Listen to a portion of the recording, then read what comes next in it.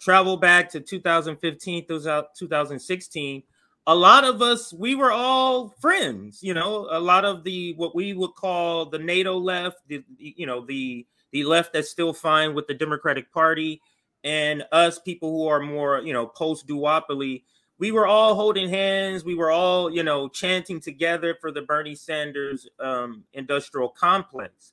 But it feels like um, politics uh, or you know current events has pushed American population or American political thought more left. It's keep moving left, but the Bernie Sanders industrial complex stayed in one place without moving. So the most radical Bernie Sanders industrial complex back in 2015 is no longer the most radical. They're now to the right of a lot of us. So, my question to you, Kshama, is how would you describe uh, the strategy of the AOCs, the squad, of the getting elected and what they said they were going to do when they were campaigning for their first campaign? Like, how would you describe the Justice Democrat uh, strategy?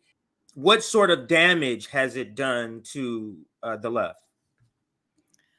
So uh, first of all as you said the justice democrats in talking about their the fundraising debacle they're having and having to lay off their staff and i think somebody some really um, prominent guy from their from their organization has left.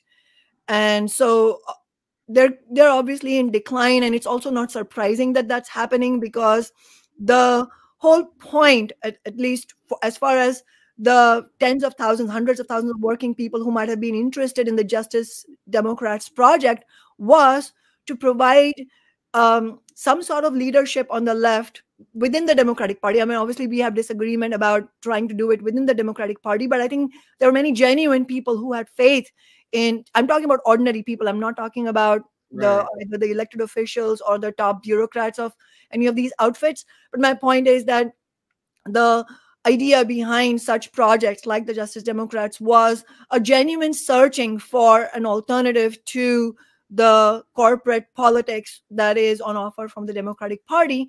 But what we're seeing is that that approach of just trying to uh, do it in a very minimal sense and, and from and most importantly from inside the democratic party is not working i mean aoc is their flagship candidate and look where she is you know she uh, unfortunately, even Bernie, as I said, as I said before, you know, it's it's really unfortunate and shameful that he endorsed Biden within hours of Biden Biden announcing his uh, presidential campaign, uh, and we've now seen AOC also endorse him. Uh, without any demands, without any criticism of where things are. And of course, how can she? Because she's been complicit. She's been party to a lot of what has happened in Washington, D.C. And so, uh, I think the what what what our job is on the left is to explain that the reason the Justice Democrats have have experienced this debacle is not about any specific organizational detail. While there may be such things, it's about the whole idea, the whole concept that this can be mm-hmm. done in this way. It can't be done in this way, and that is why you know I think uh, one of the most important points we have to make, and Socialist Alternative and I are certainly making this point even in our inaugural article about the Cornel West campaign, is that one of the things that uh, that the Cornel West campaign uh, had the the potential uh, aspects of potential it has. I'm not saying that it's a given; we have to fight to make it happen, but the potential it has is what the is the potential that exists actually existed actually when Bernie ran in 2016 as well, but didn't happen uh, and most predominantly because he didn't agree with us at all on the on this question is can we build an independent political organization for the working class coming out of this campaign? That is the most important question that comes to our mind uh, in relation to the Cornel, West campaign. So that means both what is the strategy we use to run this campaign and also what is the vision we are providing for after that campaign ends you know that that has be those two questions have to be the predominant questions. And already we've seen how much impact it has. You know the the hunger for this type of politics is mm-hmm. so huge. It is not it is not as anderson cooper or whoever else in the mainstream media might want to believe and might claim that it's some fringe lefty podcast. No the hunger for yeah. an alternative to the dangerous right populism of Donald Trump and also the the extremely reactionary politics of DeSantis or anyone else from the Republican Party and the corporate agenda of the Biden regime and the Democratic Party, the hunger for an alternative to both these two things is wide and it's massive and it runs mm-hmm. deep. And uh, you can see the examples of what I'm saying. You know, within two weeks of Cornel West announcing his candidacy, 19 million people had viewed his campaign, uh, you know, video announcement wow. video. Those are huge numbers. I mean, I don't know. I mean, you, you know, somebody with not even a modicum of honesty would not, you know, only such a person would not admit what that represents. I mean, this is huge. So the potential is really big, uh, but if, whether their potential is realized or not, that's the question for the left. Yeah, a lot of people got to realize uh, that the Justice Democrats was also uh, are also fraudulent because based on what they told us, and Sabby Sabs, our revolutionary blackout sister she does a good job highlighting this. Uh, part of the Justice Democrat plan was to make third parties and independent candidates more viable. The Justice Democrat was supposed to be a movement that promoted third parties and wide scale electoral reform because there's no reason to engage in electoral politics without that being your primary goal because we know the system is rigged. And this is the uh, receipt where they said they had to make an effort to make third party and independent candidates more viable. Now, this is why I say there should be a lot more anger at the Justice Democrat organization, a lot of the progressives, because they committed fraud on the working class. Like, so it's not like the working class, and this is something I've been trying to learn to forgive myself more, right, for falling for this. Because I'm like, how can you fall for AOC? How, how we fall for AOC and Bernie?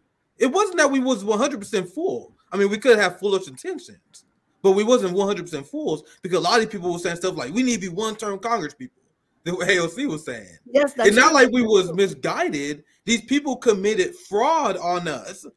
So we need to forgive us more and be more angry at them. That's why I, don't, I yeah, kind of laughed. Go ahead, Kshama. Go ahead. Yeah, no, no. I was just going to say no. Absolutely, we wouldn't be. It would be wrong of us to be uh, angry at or criticize or condescend to ordinary people who put their faith in in the Bernie campaign.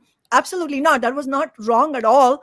Uh, and a socialist alternatives approach to the Bernie campaign is actually a good example of how left leadership should be provided. Is in the sense that we went all in for Bernie's campaign. You know, we campaigned for him wherever we have our members, and uh, we were emphatic about our support for his campaign agenda. As I said, uh, you know, for uh, taxing Wall Street for Medicare for all, uh, canceling student debt, all of that.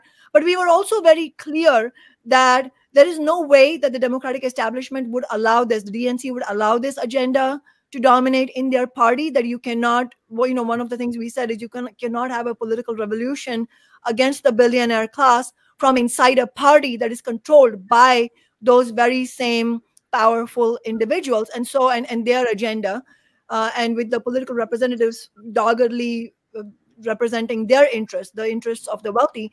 And so we were also very clear about that at that same moment. So I think that's the kind of clarity and honesty we need in on the left. It's not very much on offer, unfortunately.